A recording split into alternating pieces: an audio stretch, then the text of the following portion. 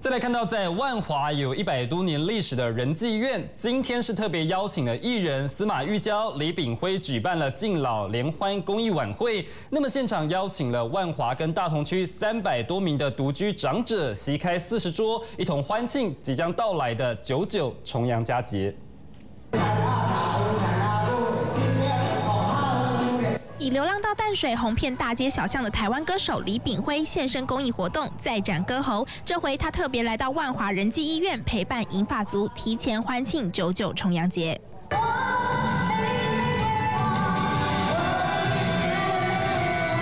台下观众听得如痴如醉，昔日的当家花旦司马玉娇也来献爱心，席开四十桌，坐满三百多名独居老人，还有一名一百零一岁的任瑞。民国元年出生的陈林老爷爷和中华民国同年纪，十五岁开始吃素。问到长寿养生秘诀，他说很简单，就是常运动。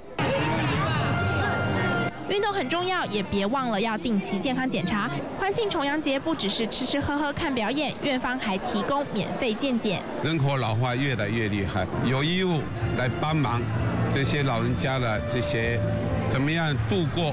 这个他们这个欢乐的晚年，重阳节、敬老节有志工团队的关怀，还有一群老朋友相聚，露出暖暖的笑容，独居老人也能活得不孤单。